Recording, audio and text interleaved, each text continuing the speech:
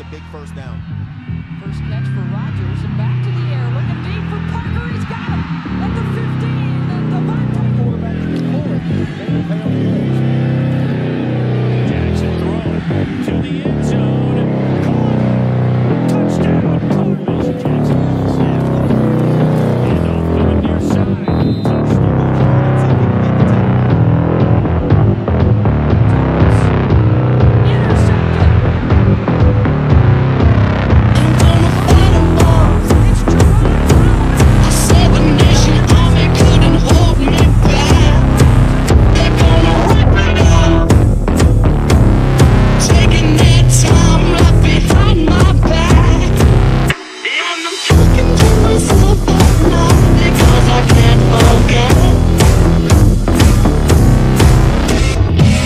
Motion by Brand.